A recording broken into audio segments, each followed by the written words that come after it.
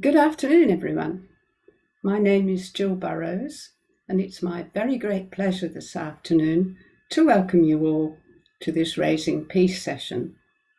How do we integrate head, heart, and hands into our practice of peace in the everyday life of family, workplace, and community? I'd like to start by acknowledging that all over Australia we're meeting on Aboriginal land, which was never ceded, and I pay respect to all elders, past, present, and emerging. I especially welcome any First Nations people who may be with us today. I am on Darug land, Darug land, in northern Sydney, and I thank them for their care of this beautiful country over many thousands of years. The Raising Peace Festival is being held in the lead up to the United Nations International Day of Peace on the 21st of September. And it's organised by an amazing alliance of more than 30 organisations that work together to share ideas, knowledge, and inspiration for a peaceful world. To learn more about the network, our website is www.raisingpeace.org.au. Most of the sessions of this event are recorded and will be placed on our website in the next few weeks. You can also find there recordings of our previous Raising, Raising Peace online events. I'm delighted to introduce our speaker today. Michael Wood. Michael is an Anglican priest, coach, and facilitator. He's a member of Pace Bene Australia and a founding member of the Peace and Nonviolence Education Australasia Network. And I'll put these links into the chat. Michael has led an online contemplative prayer community. He was an Anglican chaplain to the university for 15 years and currently works as a community chaplain with an Anglican church in Melbourne. Michael will talk this afternoon about his recent book, Practicing Peace Theology, Contemplation and Action, which will be followed by a Q&A. Although Michael has written primarily from a Christian perspective, with churches and Christian leaders in mind, the conversation is pertinent to anyone thinking about how to take an integrated approach to peacemaking and non-violent leadership in everyday life. Sorely needed at the moment. Okay, a bit of housekeeping. We ask you to please mute yourselves while listening to avoid extraneous noise. The session will go for around about an hour and will be managed by Brooke, who is our tech support raising peace today. Thank you, Brooke. Without you, it wouldn't be happening. Uh, you can place questions for Michael in the chat. If you have resources to share, you can also place them in the chat we encourage you not to engage in a debate in the chat. And if any of you are able to change your names, if you're um, on an iPhone or, or, you've got Fred's computer or something, um, we invite you to do that. So, without more ado, over to you, Michael. Right. Um, thanks very much, uh, Joe and uh, Brooke, for tech support and thank you for coming for this little uh, conversation. Um, well, partly me talking and partly conversation. Um, I'm grateful that you've shown up and I hope it's somewhat useful. Uh, I want to acknowledge the Wurundjeri people of the Kulin Nation of, as the traditional custodians of the land on which I'm sitting here in Melbourne. Um, just to provide, as Jill said, I'm going to be uh, talking about this um, largely with a theological, Christian theological frame in mind. And I'm trusting that um, if that's not your frame, that you'll be able to do your own translations. I found when I was uh, a chaplain at the University of WA, I had a lot of contact with um, people of other faiths, particularly Muslims and Buddhists. And I often found that some of the most useful conversations I had for deepening my own Christian understanding of things was to engage in conversations with them. Um, it often gave me new insights into my own tradition. So uh, I hope if Christianity is not your tradition, that you would find um, what I'm saying still some way of maybe provoking your own thinking. And I'd be very interested to hear that at the end too. Um, so the structure of today is I'm going to talk for roughly 30 minutes. I'm not going to engage in questions in the chat during that time. In fact, I'm going to try not to look at them because it'll I'll get uh, distracted. Um, depending on how we're going for time, I was thinking I might put people into chat rooms uh, for a bit of engagement with each other and then come back at the end for any final questions. And if there's um, anyone who wants to hang around longer, apparently we can have this room open for another half an hour after 12.30 Eastern time. Uh, uh, so I'm happy to hang around and talk longer if anyone wants to. Um, one of the principles of a process I use a lot called open space technology is that who, um, one, whoever comes to the right people and the law of two feet applies. So the law of two feet means if you're not interested, engaged, learning, or contributing to the learning of others uh, in a session, feel free to use the law of two feet and put yourself somewhere more useful. Uh, in IT land, this is called the law of one click. It basically just means hitting the red button on the bottom right hand corner and saying, see you later, I'd rather go and get a cup of tea than listen to this. Um, so use the law of one click if you need to, you'll be happier and I will not be offended in the least. Um, the slides that I'll be using today will be available in a PDF. If anyone wants to email me afterwards, um, feel free. So that's a bit of background just to context setting. Um, so I'm going to be talking a bit about this book, Practicing Peace, which was published in February this year. And um, I'm going to be using slides to guide my own thinking and talking, but you really don't need to be reading them or anything. Uh, feel free if you want, but it's really just to provoke me. Um, and some people learn better by reading than listening. So I'll just put these up. Um, so do you have a PowerPoint slide? Give me a wave if you do. Can you see that? Yeah, great. Okay. So practicing peace, theology, contemplation and action, that's the name of the book. That's what I've been reflecting on for about 10 or 15 years now, or maybe longer, maybe 25 years. Um, and I want to start with the who or the what provoked the disease or disease. Uh, so I, I, can only tell this story from my own experience. So I thought I'd just read one page from my book, from the preface to begin, uh, rather than try to wing it. And that'll just give you a little bit of context to how this came to be written. Um, I talked about uh, leading a small church community um, in about 20 years ago. In my mid 30s, around four years into my ministry as an Anglican priest, my confidence started to unravel and I came close to slipping into a clinical depression. I'd been working in a series of financially struggling parishes with small congregations. I knew something about the Bible, theology, and church history from my formation as a priest.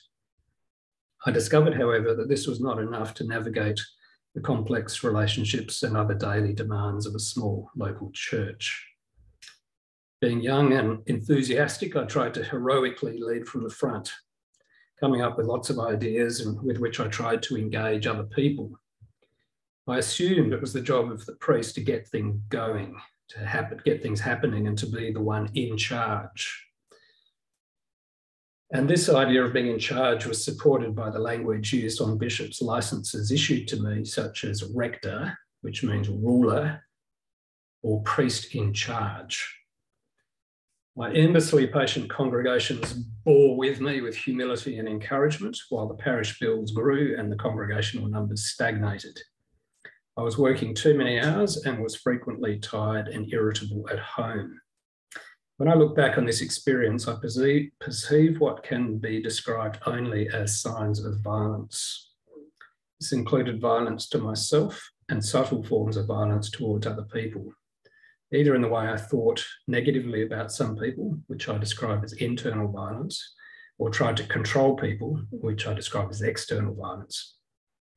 This is particularly ironic because I had always been keenly interested in Jesus' commission for his followers to be peacemakers or ministers of reconciliation. I don't think I'm alone in this predicament of noticing a big gap between what I believed and the way I sometimes lived.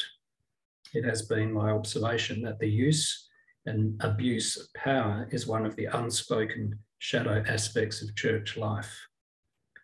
By shadow, I mean those things that are largely invisible or denied within ourselves because much of my life is now spent working in non-church contexts, I know that the problem of violence, sometimes physical, but also but also psychological, social, and spiritual, is endemic in families, communities, congregations, organisations, cultures, and societies. So that uh, sounds very depressing, doesn't it? But there was a my sense that kind of being imbued in or in a milieu, uh, swimming in a milieu of um, of uh, this kind of violence. So, starting question to reflect on: What dis-ease do you do we bring to this reflection, and who or what is provoking this dis-ease for you? So, just a maybe a starting question to reflect on, or to reverse a common aphorism if we are not part of the problem, we can't be part of the solution. So that's just to be a bit provocative and stir us up a bit, I hope. In what way are we part of the problem so that we might become part of the solution? Right, so this uh, festival of which we're a part is called Raising Peace. So, what do we mean by peace? And what does it mean to raise peace? Everyone has a starting point. As I said, mine's a Christian theological one. And I was always been very intrigued by the statement that Jesus makes when he says, Peace I leave with you. My peace I give to you. I do not give as the world gives.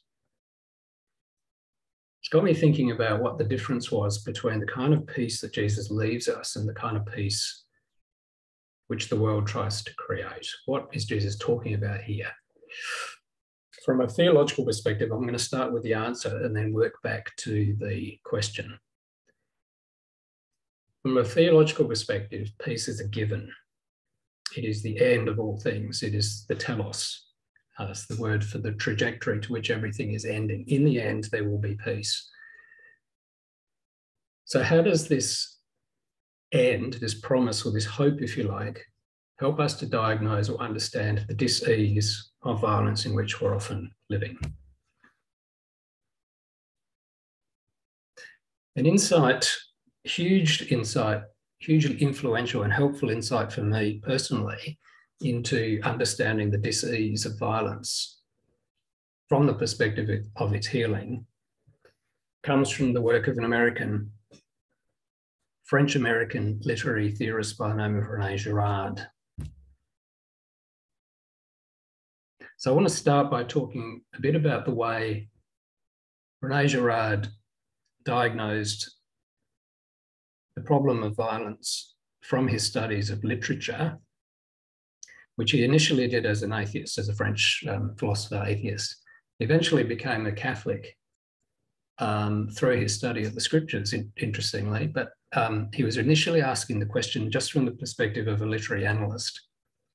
So working through, and I apologize if this is well known to you, um, hopefully it'll be a bit of a refresher, or if it's not, uh, I want to spend a bit of time on this because what I'm not going to do today is kind of give the 10 point plan about how to live, integrate theology, contemplation, and action in daily life. So if that's what you come for, for the answer, for the 10 10 point plan, you'd be very disappointed. It's time to use the law of one click now.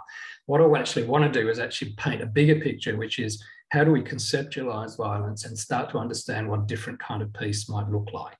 So it's more of a conceptual frame from which we can draw our own conclusions and maybe uh, map out our own paths. So it may reinforce some of what we're already doing, or it might uh, lead us in some new directions with some new insights. I hope it does anyway. So the basic, first basic principle that Rene Girard came up, come up with from his study of literature is that human beings are fundamentally imitative people, that we uh, learn uh, what we learn through imitation. So we learn language, for example, from listening to our parents. Uh, we learn morals and values largely from the families and cultures in which we, we grow up, and we observe behaviors from observing those close to us. Well, that's a bit of a no-brainer. We all get that. Girard, what Girard really developed was the idea that we not only imitate each other's um, behavior and values and language, but we imitate each other's desire. And he, the word that he used for the imitation of desire was mimetic. So we learn what to desire by copying the desire of others. We learn what we desire by copying the desire of others. So we think we know what we desire and we think it's our original desire like I'm, I'm desiring a sip of water, is a clearly just a biological fact. But when it comes to the kind of car that I want to drive, I'm hugely influenced by the desire of others. The way advertising works. It's a very nice BMW parked just out on the street out there. So every time I think of it, I say, oh, wouldn't it be nice to drive that BMW?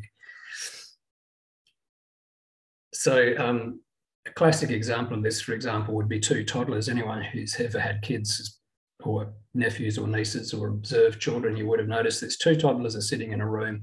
There's a toy, one toy sitting between them. The toy is of no interest to either toddler until one toddler picks up the toy. And as soon as that happens, mm, we've potentially got a battle on our hands. Suddenly that toy becomes an object of intense fascination to the other toddler. So think about toddlers and toys, but then think about ourselves as growing up toddlers that's the kind of path that I want to take us down. So escalating contagious anxiety is the next step. Pretty much the battle is on for the toy, the object of shared desire, and we actually lose touch with what we're fighting about in the first instance, and all we're doing is imitating each other's anxiety. So, um, and pretty much soon we've got a kind of a storm brewing, if you like. So here's just a little film clip I, I've put to illustrate this. I'm not sure if I ticked the share down box, so I better just check that before I go any further. I did. This uh, was a little promotional uh, video that was made. As, uh, any Marvel fans here? I know it's the younger generation. It's my daughter's generation. Might not be ours. Give us a wave if you ever watched a Marvel film. Yeah, no, it's definitely a different generation. So Captain America and uh, Iron Man uh, engaging in an active civil war in one of these Marvel films. So the two actors that play Captain um, America and uh, Iron Man uh, in this little clip. It's a little illustration of mimetic rivalry. So what I'd invite you to do is to look for the object of shared desire and how that uh, ramps up anxiety and just see whether this rings any bells for you. Oops, here we go. Morning. Evans? Downey.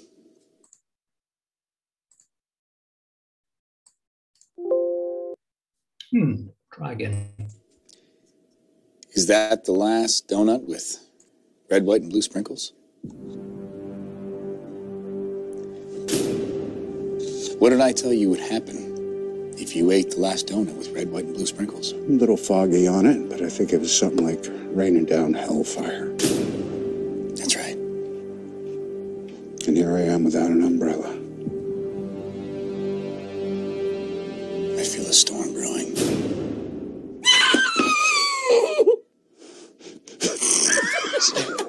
Hold on, if we don't play that back, I'm canceling the press tour.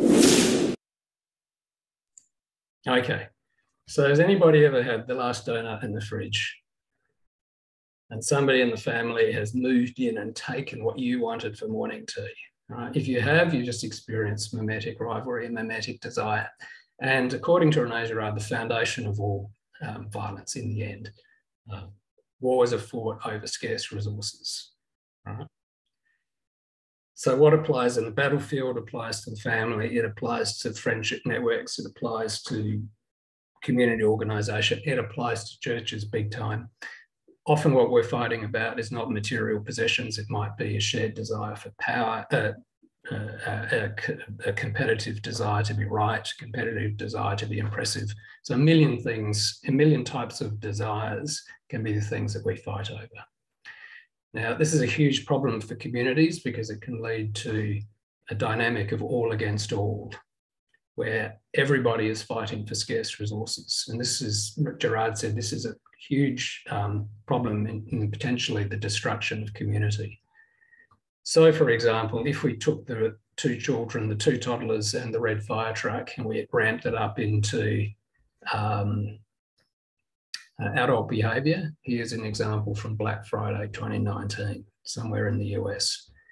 Um, although we might have seen this actually in the New Year's Day sales at Myers in Melbourne or Sydney, wherever we come from, where people queue out the front as soon as the doors open, everyone piles in to kind of get access to those scarce resources. So human uh, Girard proposed that human communities need a mechanism in order to manage this potentially uh, destructive dynamic of all against all, which will uh, destroy the community from within. And this is where uh, the thesis that he came up with in his book, The Scapegoat, was that the way communities stabilize themselves from the all against all dynamic is to shift their anxiety from each other onto a shared object of um, focus, which he called the scapegoat. So somebody is chosen at random. Usually it's somebody with a disability who looks a bit different, a different culture, different shaped eyes or different language or whatever it is. Somehow a person who's a little bit different from the crowd, the crowd will spontaneously, and they don't even know why they're doing this, will unconsciously focus on, on the scapegoat as the person who they then blame as being responsible for our fighting why are we fighting? Oh, it's um, it's let's say somebody I somebody I know here. Oh, Dale. Dale won't mind me saying this. Okay. So anybody who puts slides of trees in the background of their Zoom is clearly a social problem, right? It's a completely irrational statement, right? But somehow, because this person is a little bit different, we're going to focus on that, all our attention on that person. And that person becomes the person we exclude. And now peace has been restored to the community because we've kicked out the disruptive, uh, uh, the dis disruptive element. So by getting rid of Dale out of the picture, now our society is restored to peace because we've found somebody to blame. Um, wasn't really about us fighting over scarce resources. All this um, hyperactivity and anxiety that happened was really Dale's fault. And we can probably find some really good reasons for why that was the case. So just a little um, humorous, I think, I hope, uh, example played out on a film about how this occurs, but potentially can have very um, violent ramifications, comes up in this little film clip called Guntown. So I'm just giving a little warning here. If you hate guns, you might uh, not like this um, video very much. I, uh, don't worry, nobody is going to get, um, there's not going to be blood and guts or anything. It's set up as a humorous clip, but it's designed to well, I don't know if the filmmakers actually had Girard in mind when they made it, but they certainly nailed Girard's theory when they made this little film. So let's just have a look. And look for as well the justifying um, story that lies behind and excuses the uh, violent activity in this.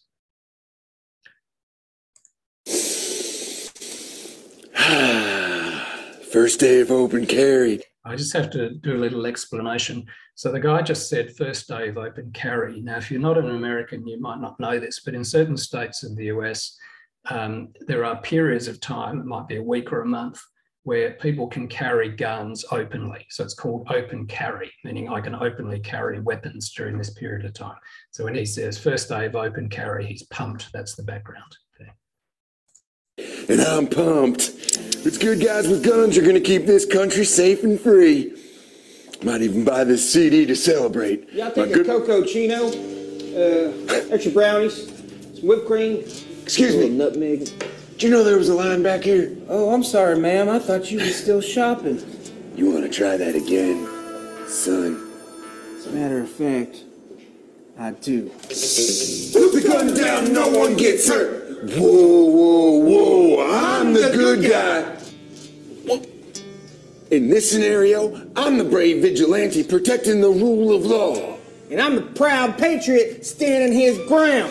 I'm 99% sure that I'm the good guy. I am 99.9% sure that I am currently the good guy right here in this situation.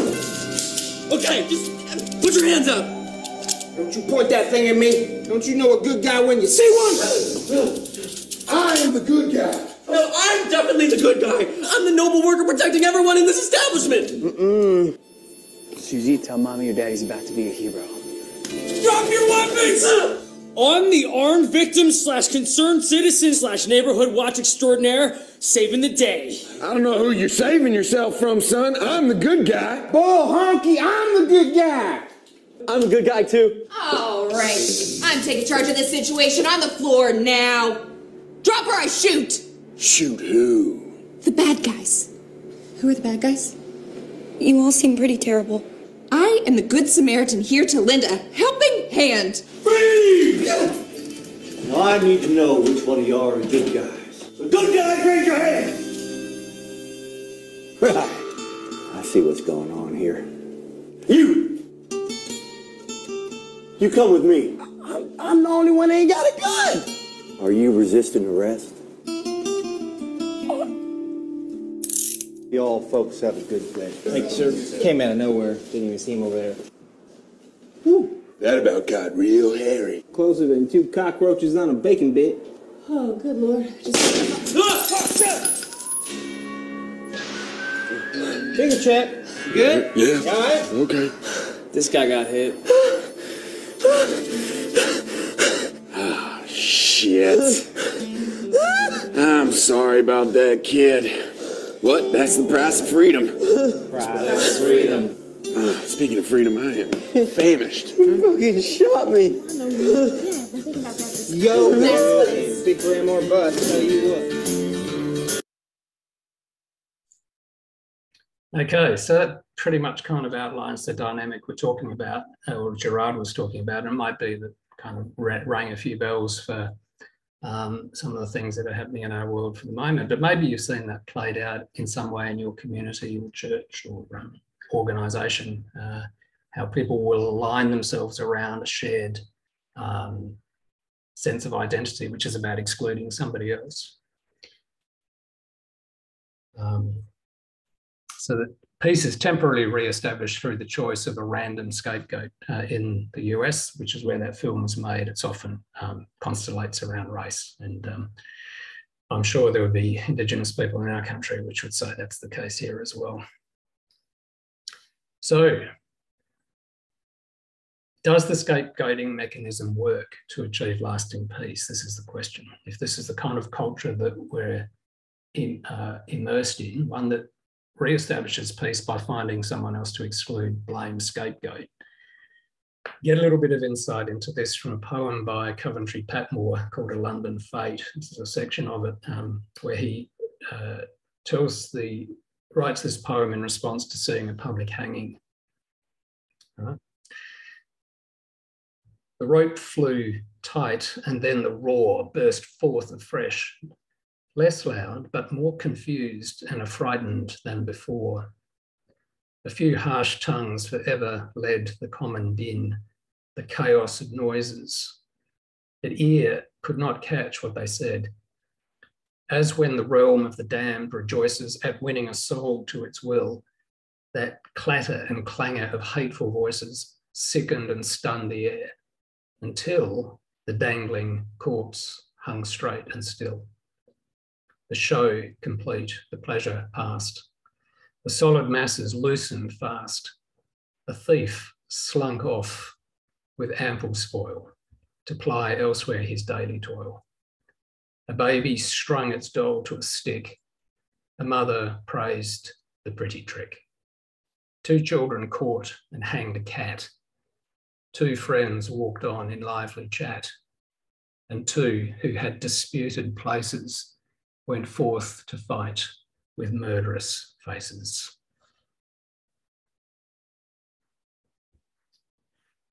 So the act of public violence settles the crowd for a little while, but ultimately doesn't deal with the underlying issue of mimetic rivalry, and violence breaks out again in the community.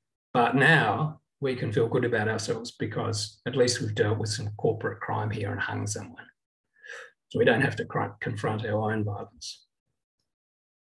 So the way human culture, according to Girard, the way human culture uh, makes peace or re-establishes peace is through what we might call blaming, naming and shaming, silencing, cancelling, excluding, killing, any way we can to get rid of the disruptive influence and stabilise our community. And more importantly, to justify this with self-reinforcing stories about why we did the right thing. So we can feel good and holy about ourselves. And Jesus himself becomes a victim of this kind of violence. Jesus predicts in one of the Gospels the time is coming when anyone who kills you, talking to his disciples, will think that they're offering a service to God. Very often, violence is framed in religious terms. This person absolutely deserved to die. Uh, how do we know? Because our moral religious system says so. And Girard's uh, had a particular use for the word myth. A myth was a justifying story which would justify the violence. Terribly sobering thing for those of us who uh, are in any kind of faith system. But we don't have to be people of faith. We could just use any kind of self-justifying law or morality that we happen to choose. Um, Jesus himself becomes the victim of this dynamic when the high priest says to the people that are overseeing Jesus' trial, you do not realize that it is better for you that one man die for the people than that the whole nation perish. It is good for our community that we kill this guy. Otherwise, the Romans are going to come down on us. So, that's background. Now, uh, when Girard, as a scholar of literature, explored the Hebrew and the Jewish scriptures, he expected to find, find this same kind of dynamic there. He expected to find the same mythologies as in culture generally, which was religiously justified violence, and he did find it. But what he also discovered uh, was a strong countervailing movement, which was the perspective of the innocent victim. Uh, and he sees this popping up in various parts of the Bible, right through the Old Testament, um, the, killing of Abel and um, Joseph being thrown down a well, you know, by his brothers, the cry of the um, uh, victim in the Psalms, the suffering servant passages in Isaiah, and ultimately culminating in his own death and coming back as the forgiving victim with the statement from the cross, forgive them, Father, they don't know what they're doing. And guess what? They didn't. They did not know what they were doing. Okay. Because it, scapegoating is always an unconscious mechanism and it's always 100% self justified through appeal to our own sense of righteousness. And that's what makes it such a powerful device for communities because it is beyond critique, because it is self reinforcing from within our own value system. So Girard saw it within the scriptures, and he was primarily interested in the Jew Jewish and Christian scriptures. He didn't do a lot of work on Eastern scriptures, like from India or from the Islamic world, although Girardian scholars now are doing a lot of that work.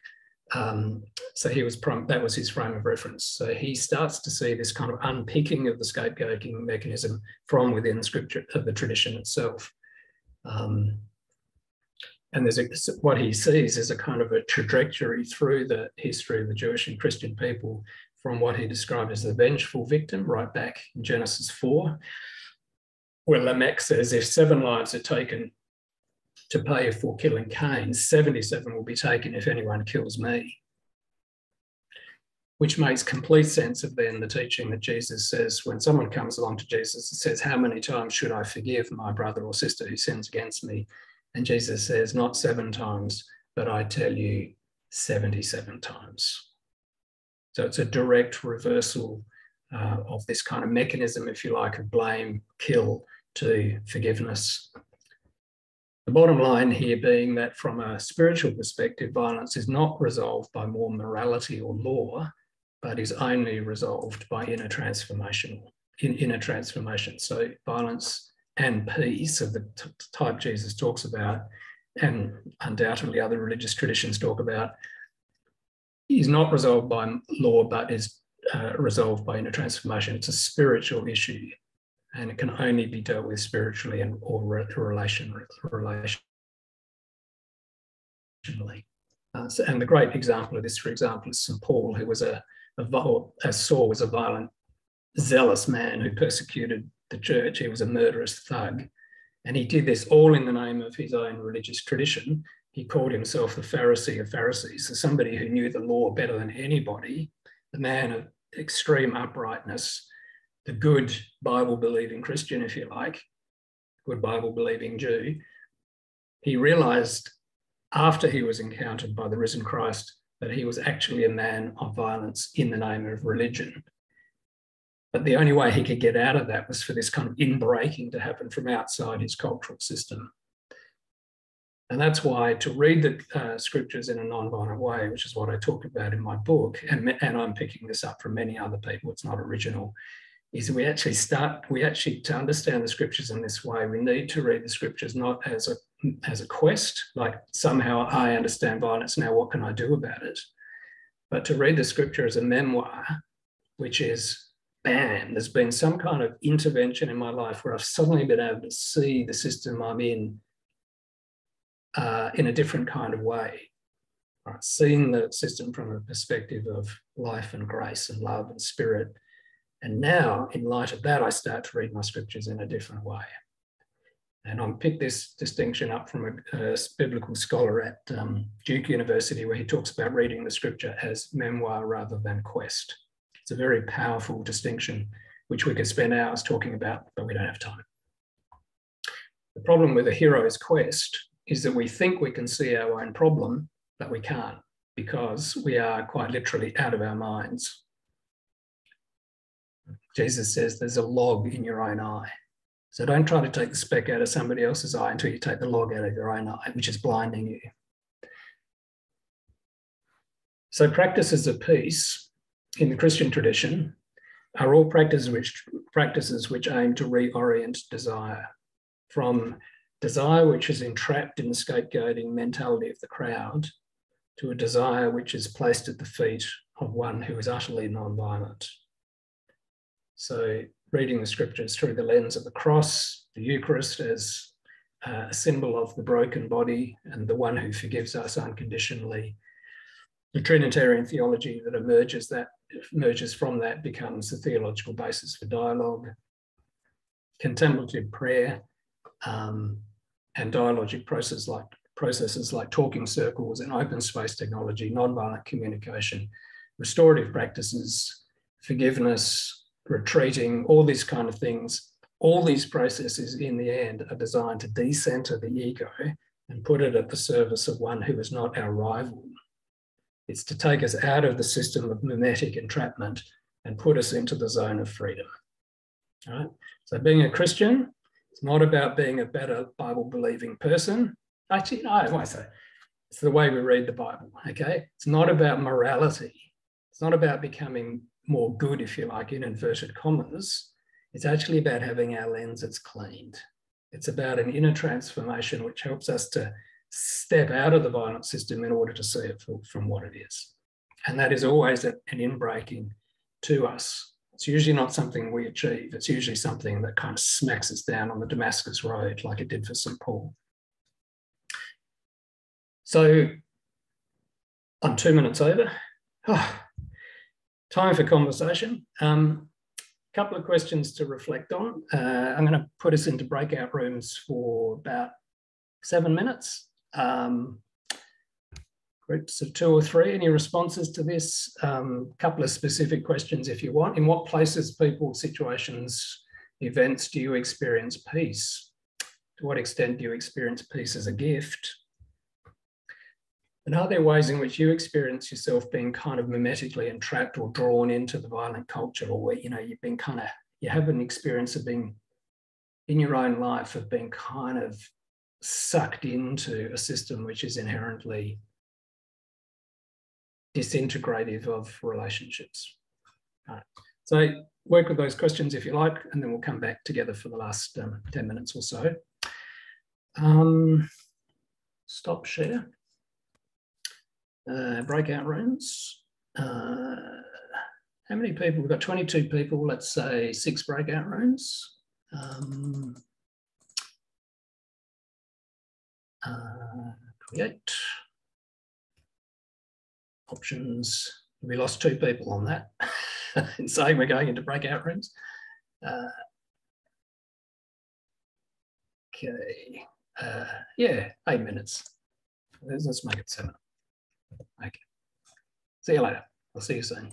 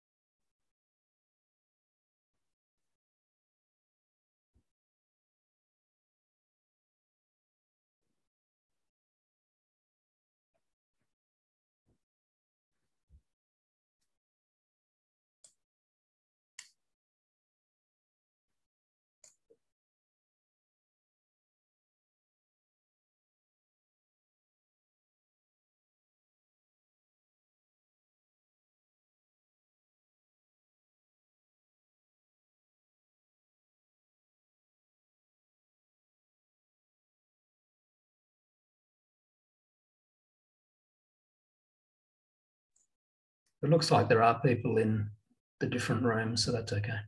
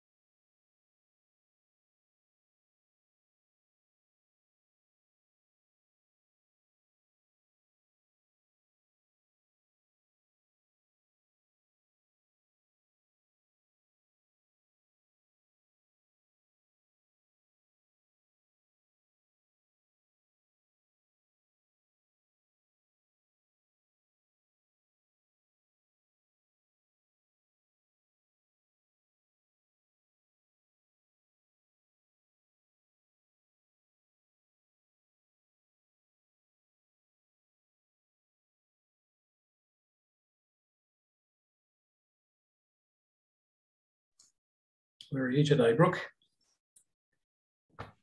I am sitting at home in Sydney. Thank you. Okay. Yeah. Whereabouts are you, Michael? I'm in Melbourne. Oh, okay. How's the weather with you today? Yeah, I learned a new word the other day. It's called grizzly. Ah, brilliant. Well, it's a very lovely day in Sydney. So I'm excited to go and sit in the sun at some Oh. point. Great. Welcome back. So, um, how's the time going?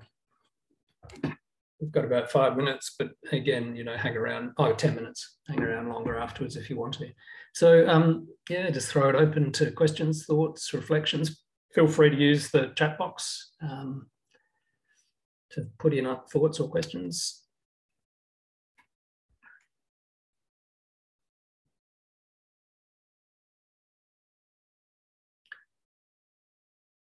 Suspicions, curiosities, um, outright outrage, disagreement. Um, can I speak? Hi, Therese. Yeah, hi. Um, uh, our in our little group, uh, we had some responses. Uh, one was uh, from Tanya, who was surrounding herself with affirmations about love and peace and and getting above uh, what were the everyday um, difficulties, I guess. Um, and Daya spoke about uh, bringing family together for a party and the enjoyment of that sort of, you know, connectedness. And um, I spoke about an event that I was part of this morning, which was to uh, look at the progress of um, a reserve, a local reserve along a creek, uh, which had been uh, totally devastated by bushfire.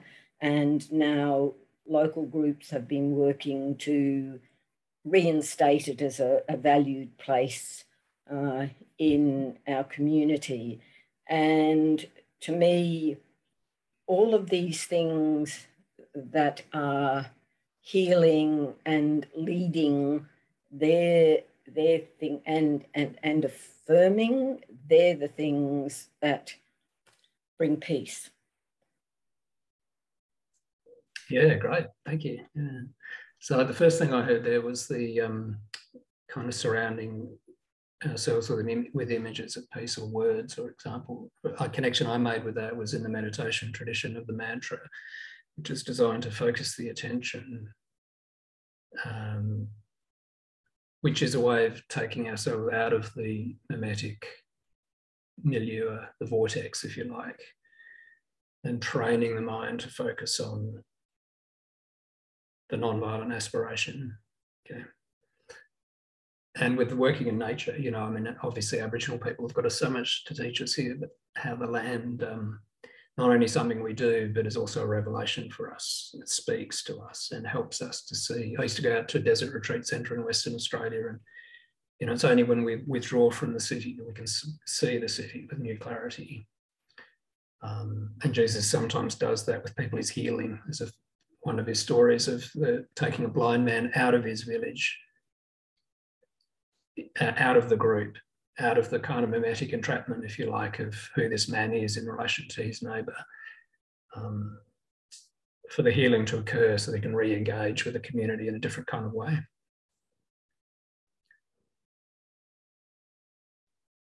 Thank you.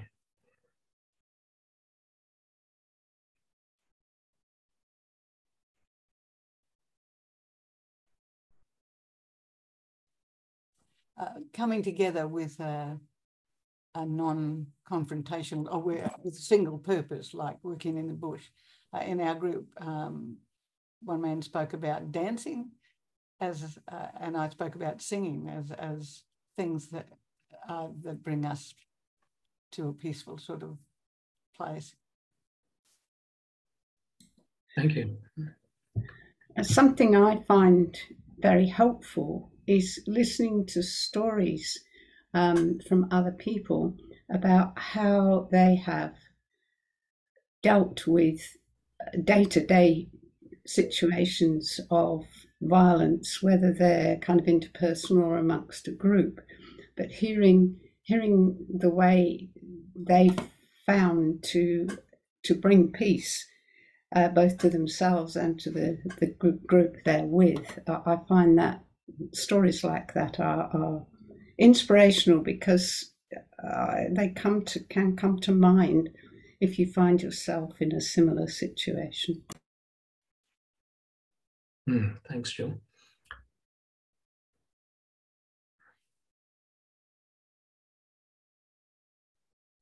And if I could add to that, um, I think what I also shared is one sentence or a couple of sentences you put in terms of conclusion that stays with me where violence is not resolved by more morality or law, but by inner transformation. And I think, um, you know, it's a spiritual experience. Um, I think that is the essence of everything um, I'm hearing in terms of story sharing and, and you know, experiences people have. Underneath all that is how do you actually have that change? You're lucky if some higher power makes it happen for you, which I think is what Paul's story is. There was a timing when intervention was necessary you know, to change the course of history. Um, but for all of us, uh, we're not so. We are, we are. But if you have, you have to be able to read the signals and make the change. So thank you very much for stimulating thought. Mm. Thanks, there. Yeah, I mean, obviously, Paul, and for some people, it's very dramatic. Um, it may be that what has brought us here today is that kind of um, speaking. The very fact that we're asking the question, I would say, from the position that I'm standing, is a form of grace.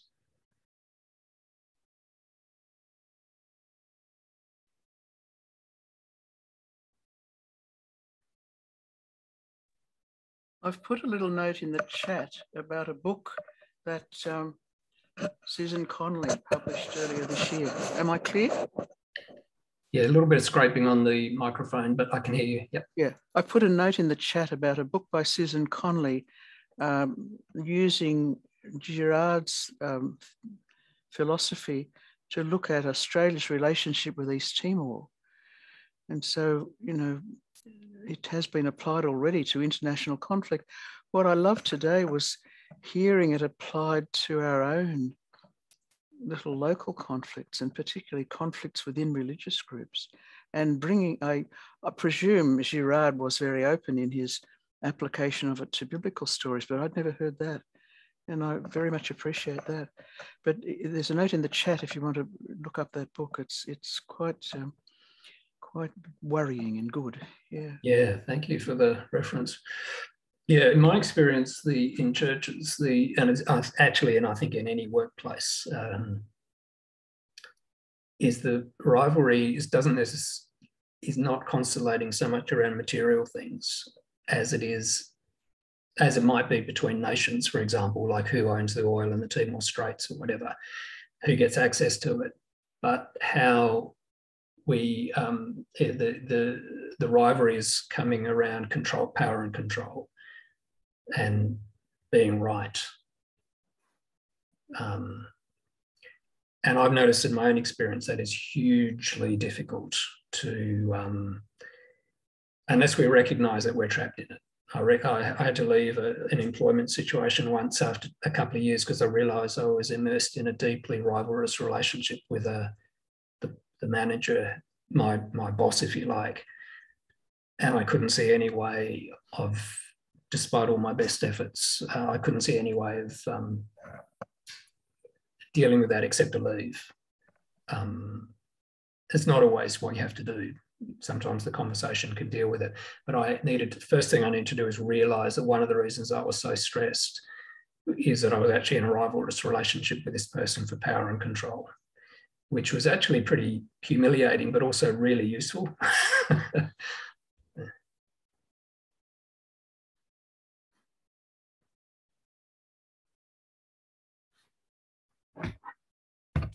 um, we're, on, we're at time, Jill, so I'm wondering if formally you might like to wind this up, but if anyone wants to hang around and chat for a bit longer, I'm happy to do that. Um, oh, are you muted, Jill? Yes, ever a pit, a trap for us Zoomers. Um, yeah, well, thanks so much, Michael. Um, pity it's so short. The time has gone by remarkably quickly. Um, yeah, so it's such a big question. I mean, we could have this conversation all afternoon, but thanks very much for your insights. I have downloaded your book on my Kindle, and um, I love the the preface because I think that the the personal journey of individuals is a bit like I was saying about story being helpful. I think it helps to give insights.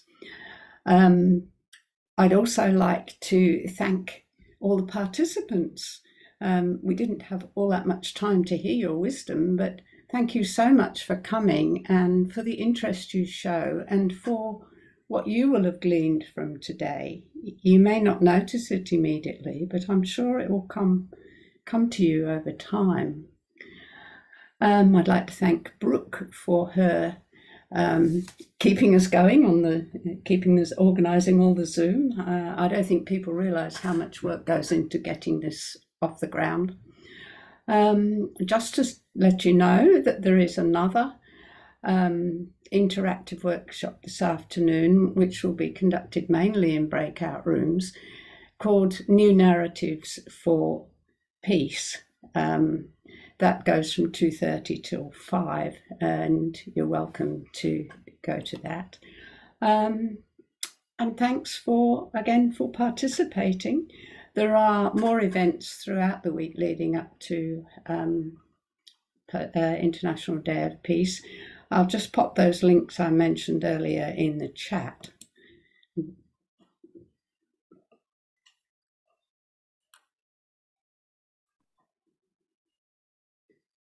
So, sorry, takes me a while to do this. As they say, talk amongst yourselves while I do it.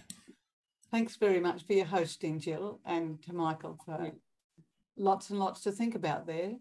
Yeah, indeed. You, Michael. Yes. Thank you. You're most welcome. Thanks for coming. Thank you. All the best. Wilbert's thrown a great question in the chat. How can you discover or reveal mimetic desire and scapegoat mechanism when it's not intentional or conscious? I feel dancing, by the way, is a genuine inner desire. Mm. Great question.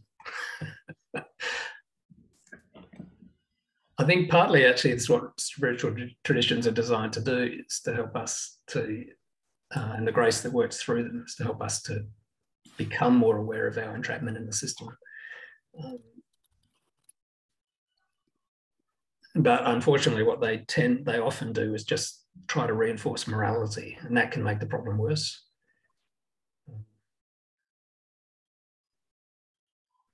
don't know if that's any good as um, uh, Wilbert for such a great question.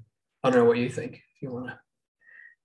Um, I, I don't have an answer myself. That's why I asked the question. But I think it's uh, yeah, it takes a lot of time to discover uh, of, uh, discover such mechanisms and get to, get uh, get aware of it and try to change it and in a way that it's not violent in some way. Often that doesn't lead to this, this easy. yeah.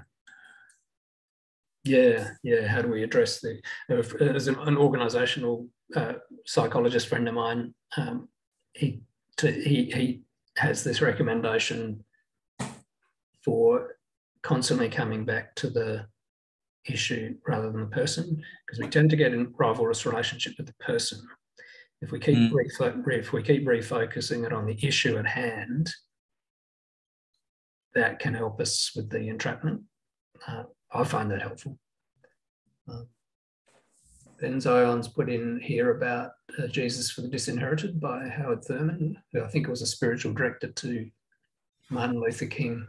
I haven't read a lot of his stuff, but what I have is beautiful. So thanks for the recommendation.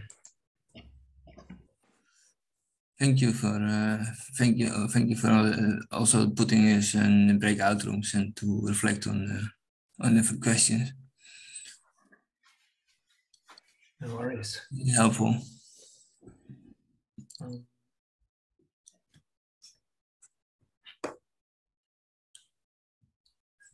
I put the, the the links to the Raising Peace website in case anybody wants to go to uh, have a look at the other events that are being uh, uh, held, and also the Peace and Nonviolence Education.org. So should it have a dot .au after it, Michael? No, it's just .org. .org. Okay. Yeah. So anybody involved in education um, at whatever level may be interested in um, being involved with that group. Yeah, the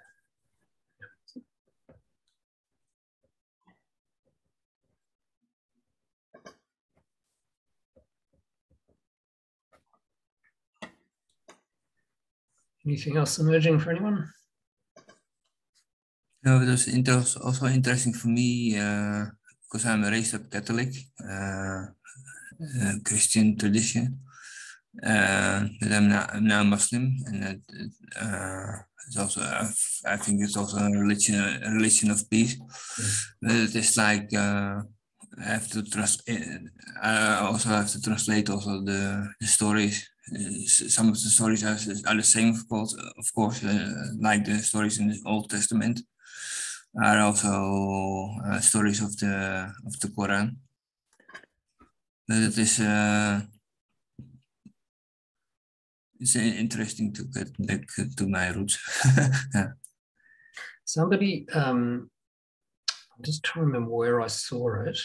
Uh, but if you email me, well, but um, I'll try to track it down. Uh, Islamic scholar has just written a book on uh, reading the Quran and Islam through a Girardian lens. Mm, um, so if you can email me, I'll try to. Rem- I only saw it last week somewhere. I'll try to track it down. Okay, okay. I'll email you. Yeah. Do you want to put your email in the chat, Michael? Yeah.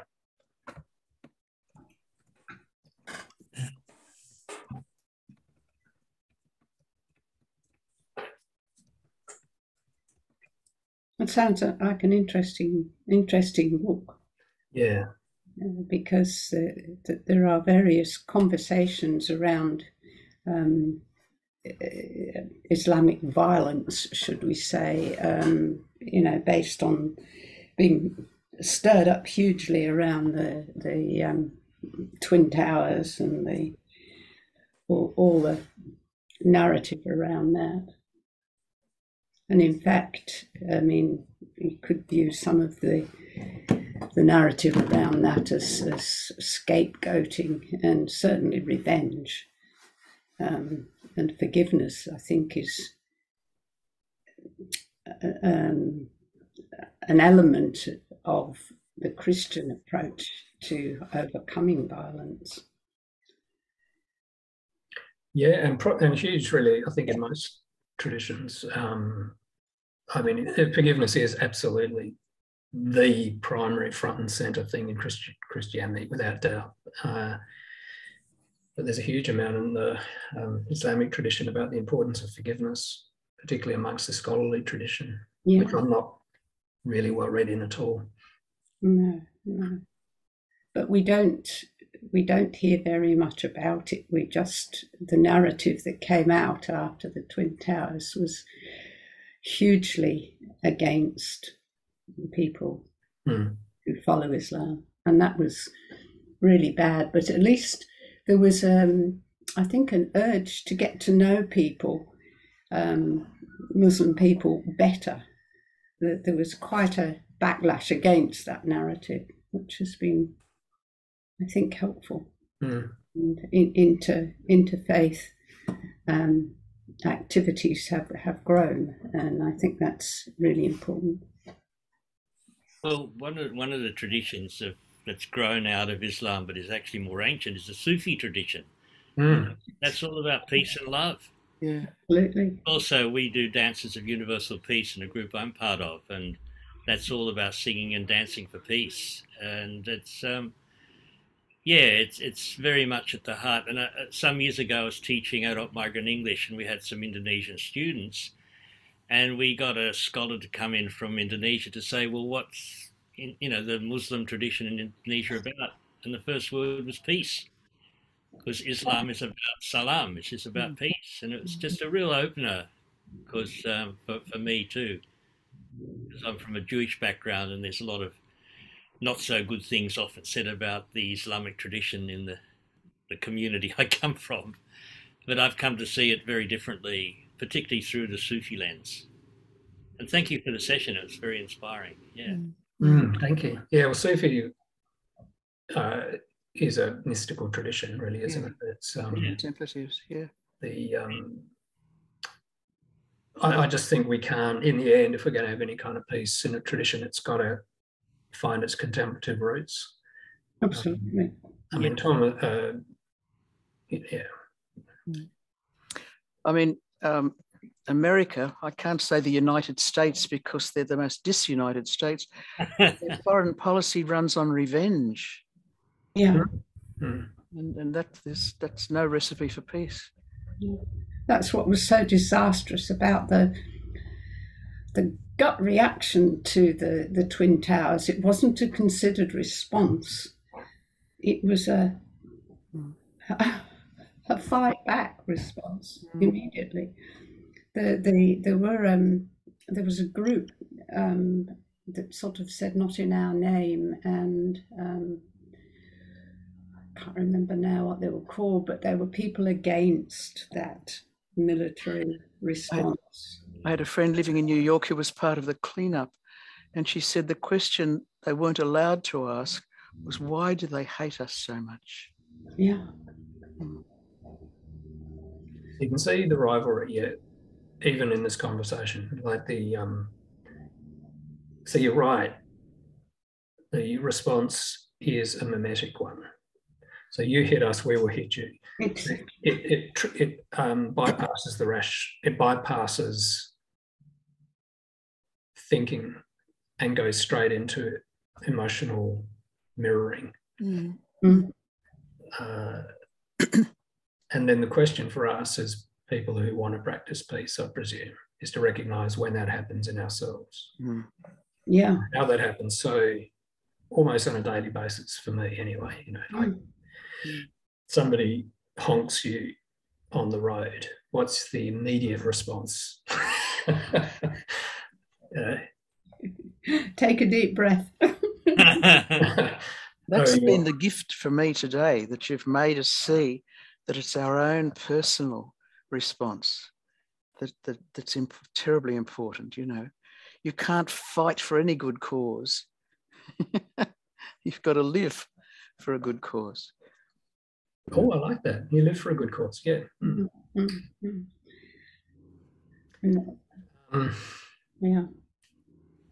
And that's where I find the stories so so helpful when I hear of people, particularly on a personal, interpersonal um, basis, of people who dealt with a violent situation by taking another route, another path, um, which wouldn't have occurred to me. And I think, oh wow, what a brilliant way to to respond.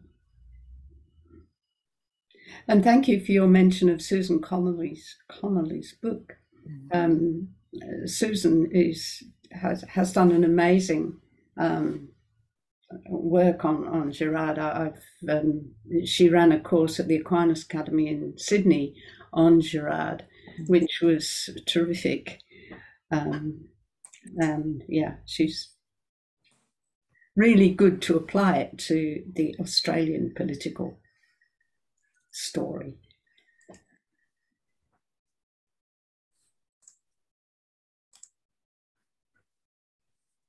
Sometimes it's difficult also to give a non-violent uh, response. Uh, I've, I've been working in former Yugoslavia uh, as peace activist and working with refugees uh, on, both sides.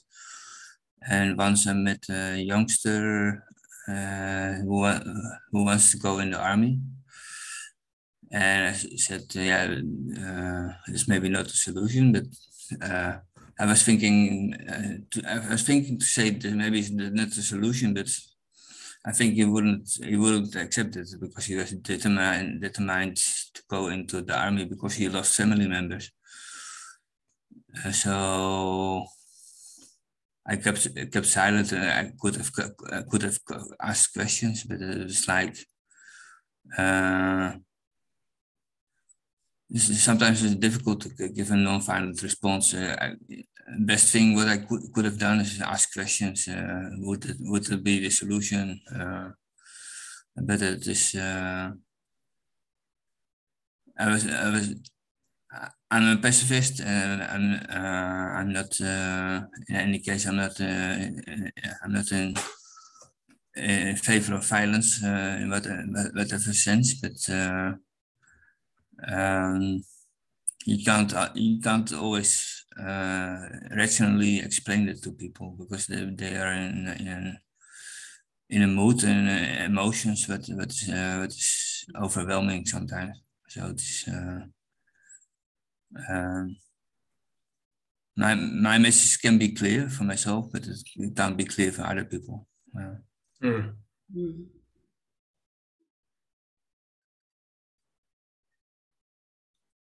And for me, it's important to reflect on these issues, uh, also on a personal level, uh, to see where I stand, where I where I personal stand in, in personal conflicts, but also in, in conflicts in the world. Like, yeah.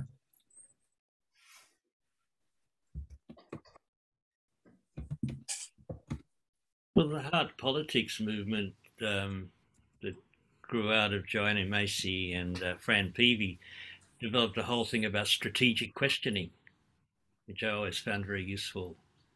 Um, you know, just sort of where you're asking questions to find out what's what's going on behind the person's thinking or feeling, or rather than trying to attack them. And I've, Mm. when I've heard that done, like like your storytelling, Jill, it, it's something that that can really make a difference. You know, when I've heard someone ask one of those questions, Mm. "What do you think about this?" or "Why do you think that?" and it can really change the whole conversation. So it's uh, that's another strategic questioning. It's called. It's really yeah. Yeah, great. Um, first, first step in nonviolent communication. Yeah, uh, curious, strategic, Right. listening. It's so hard to do, isn't it? Well, Some- when, you- when, when you're very emotional, it's not that easy. But sometimes it, uh, I've heard people do it so really so well that it really changes things. Yeah.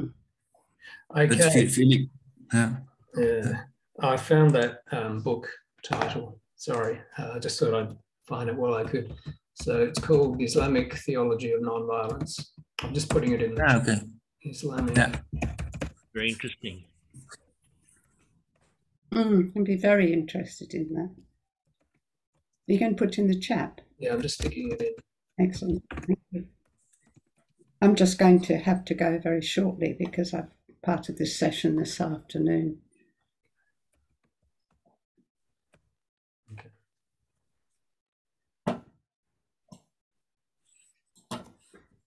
Ah, thank you.